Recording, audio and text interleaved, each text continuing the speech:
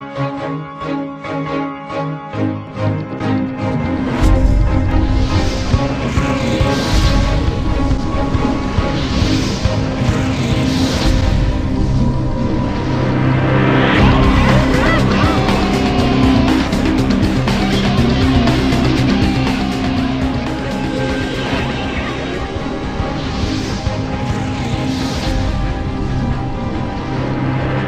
On Hitmakers today, we have the co-owner, engineer, writer, executive producer of Home Base Entertainment.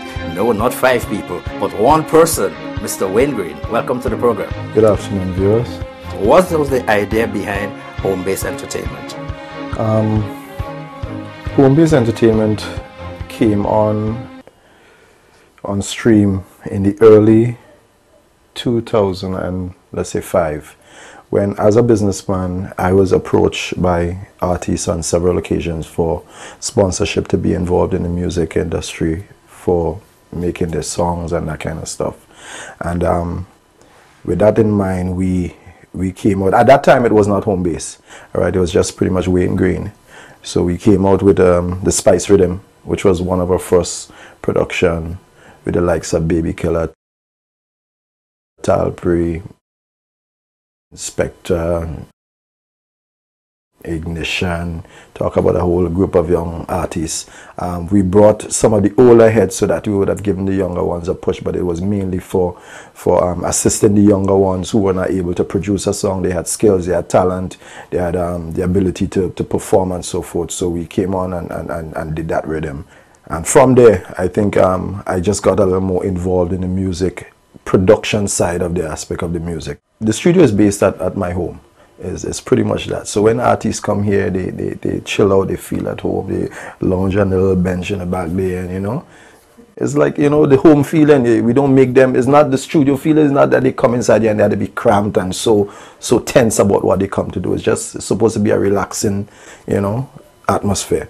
Well, uh, well, I could safely say the, the song is good, good quality music. you know, the genre of music that we might touch it might be different. I mean, it might get a different feel, but at the end of the day, we want to stand for good quality.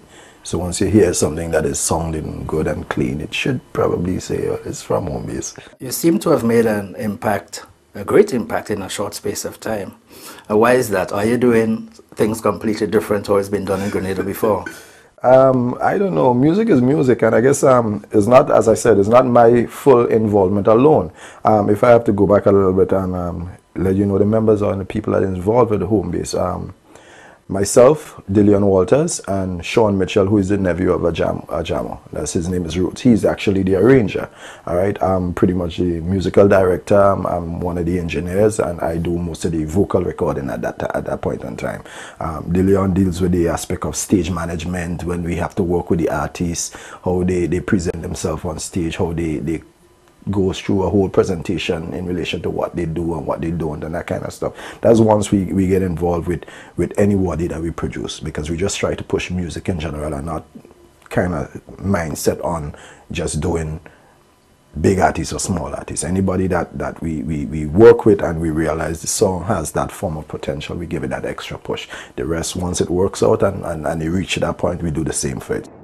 I don't think we're doing anything different. We just put in a little more musical side to the the whole production production aspect of it. Um, we spend a lot of time working with the artists and making sure that the diction and the, the lyrics are pretty much tight when we, we, we come to record and, and, and basically that's about it.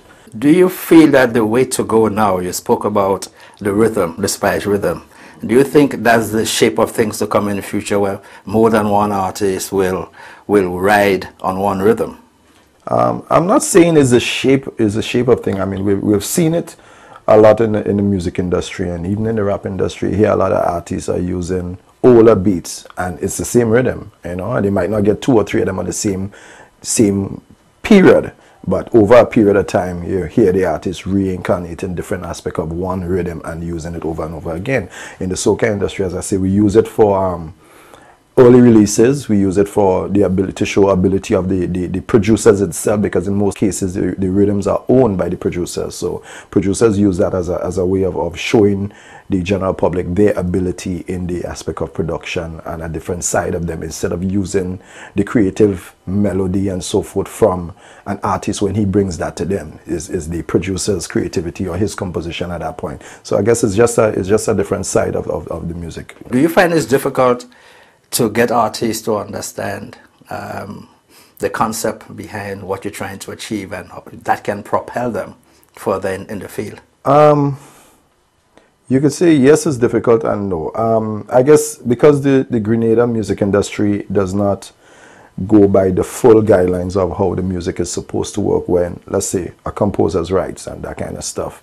Um, artists would have a, a kind of tendency to feel that the producer is trying to in, impeach on, on what the artist has to get. But that is not the case. When you go to the to the outer world and you realize how the music is in done, nobody's supposed to give up their composition at the end of the day. If we create a musical some form of music it belongs to us. Now, if we give you the rights to use it as an artist, that, that is, that is, I mean, you have to be able to understand. So it, it, it, it's, it's only a matter of time before the, the full Grenadian artists are a little bit open to, to that kind of working relationship with the production studios and so forth. But um, in most cases, they, they need you at that time, so they would work with you.